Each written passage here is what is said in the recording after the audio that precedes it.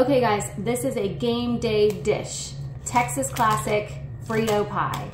Check this one out. You're not going to regret it, promise.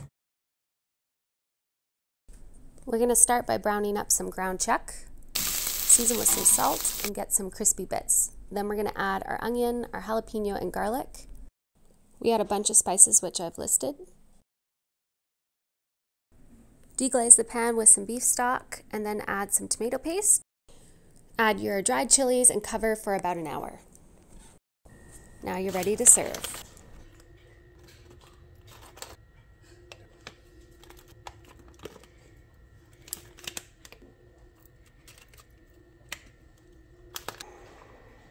Mmm.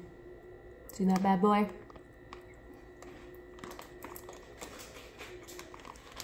Mmm.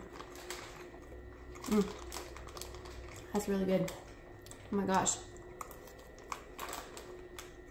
Listen, your team doesn't win on game day, you know you're going to be a winner with this.